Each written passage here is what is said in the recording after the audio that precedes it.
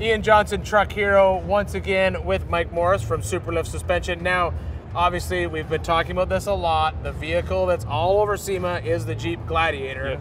Yeah. And you guys have one here with a suspension system on it that is, this is a prototype, right?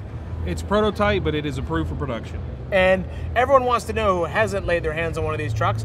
There's the question, you know, is it a Jeep? Is it a truck? What is it? So, like, what is the difference between the suspension on one of these versus an actual JL? Okay, so on the Jeep JT, picture the front, everything JL. Picture the rear, suspension wise, more like the 1500 Ram. So, like, it's like an actual truck in the back. Yeah, same suspension setup, same uh, four link track bar setup as a half ton Ram. So you'd be so just like I've always I've said so far, you know, it's a Jeep truck.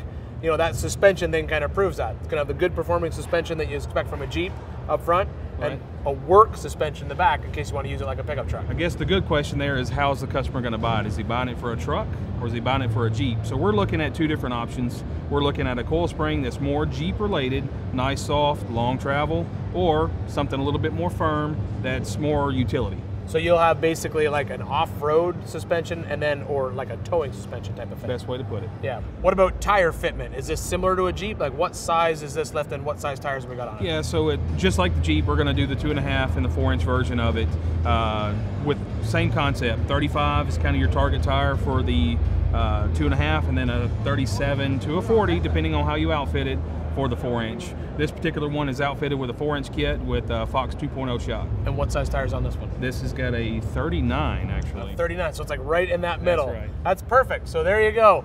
The secret side of the bag. The Gladiator is officially half Jeep, half truck.